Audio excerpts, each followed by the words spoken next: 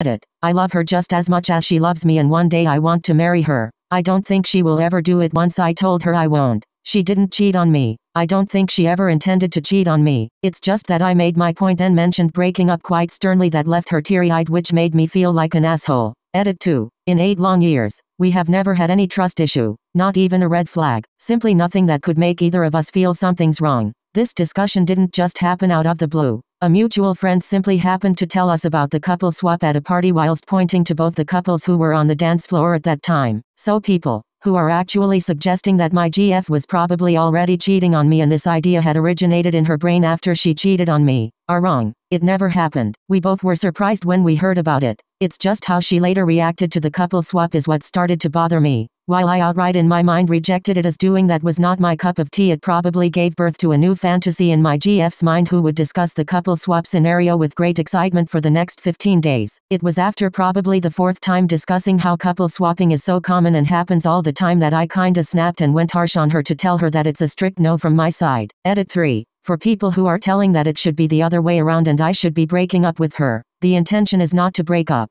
And what should I break up for right now? She hasn't done anything. If thinking was a crime, all of us would be behind bars. What I wanted to convey was that I will never be okay with her sleeping with someone else. It's just not me. And if at any point in time she feels she needs someone else to do it with, then instead of cheating on me, she should respectfully break up with me first. It was just a heads up. Also I plan on having a conversation with her tonight. Let's see how it goes.